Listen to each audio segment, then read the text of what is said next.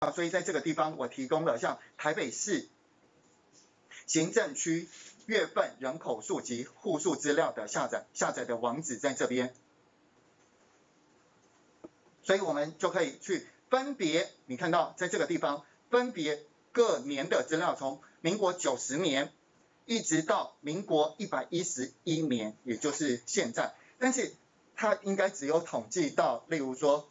八月或九月，因为现在才十月初嘛，而且它统计的都是以月底月底的一个人口数是一个基准，倒不是月初。好，那不管怎么样，但是我们就会把那个数字当做是该月的人口数。所以在这个地方，如果说你去看台北市各行政区人口数，那么你就可以把这个资料下载下来。它 ODS 是 Open Data，但是你可以透过 Excel 打开，你就可以发现它里面有一月的人口数、二月人口数、三月人口数，以此类推。那如果说是这一个资呃这一个资料它是台北市，你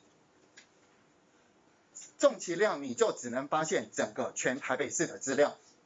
好，就是这样子。但是在这边要请各位注意一件事哦，假如说你今天假如说你今天你去看从他这个资料这边，你就可以发现，在一百零八年之后，他提供的这个人口数，可是，在一百零七年之前，他提供的是呃人口数及户数，所以在这个地方可能栏位是有变动的。建议各位，建议各位，你应该是拿最新的年的栏位当做是收集资料的标准，会比较好。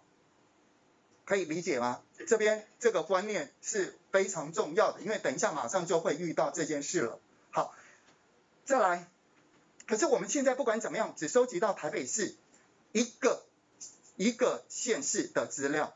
那通常我们要分析，我们像台北市会跟六都来一起做分析，甚至我想要去分析全国的人口数趋势变化，所以这个时候。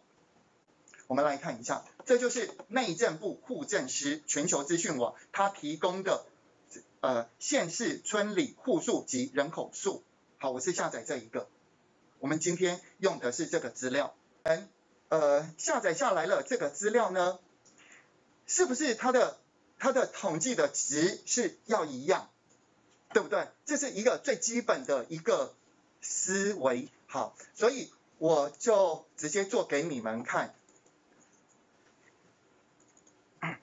我全部都下载了。好，呃，首先台北市，我们就看呃台北市的，就是八月一百一十一年八月的人口统计。好，那我们就看它的总计，这个这个男女的总计可以吗？在这里。好，然后这个是这个是。台北市的总计的人口数，呃，建议最好是把它改成三位一撇，这样比较好来去观看。好，那我们现在来去看一下，这个是新北市吧？新北市对不对？新北市是将近四百万。好，重点是我现在要去看全国统计出来的新北市八月份的数字，是不是跟它要一模一样？可以理解吗？好，也就是说。你今天如果两边两个系统去分别下载的资料，如果它是不一样的，那是不是就是很奇怪的一件事？